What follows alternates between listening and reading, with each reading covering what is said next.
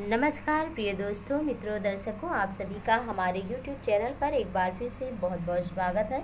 अभिनंदन है, आप सभी खुश हो स्वस्थ हो निरोग हो, ऐसी शुभकामना करते हुए आप सभी के सपनों का परिणाम एक बार फिर से आप तक पहुँचाने के लिए हाजिर हूँ। दोस्तों, आइए चलते हैं और जानते हैं आज के इस वीडियो में स्वप्न में अगर आपने मदार देखा है तो उसका क्या फल हो सकता है? अगर आपने भी स्वप्न में मदार को देखा है तो ये अच्छा सपना माना जाता है अगर भगवान शिव पर चढ़ा है तो।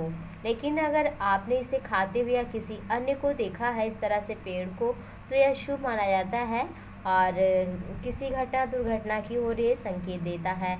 इसलिए अगर आपने स्वप्न में मदार को शिव पर चढ़े हुए देखा है तो अति उत्तम है, लेकिन अन्य परिस्थितियों में अच्छा नहीं माना जाता है। तो दोस्तों, आप भी सतर्क और सावधान रहें, अपना ख्याल रखें, स्वस्थ रहें। तो दोस्तों, आज का वीडियो पूरा होता है। आगे फिर से मिलेंगे नई जानकारी को लेकर। हमारे साथ जुड़े रहने के लिए चैनल को सब्सक्राइब करिए, आइकॉन बेल प्रेस करिए, हमें अनुमति दीजिए। नमस्कार बहुत बहुत धन्यवाद।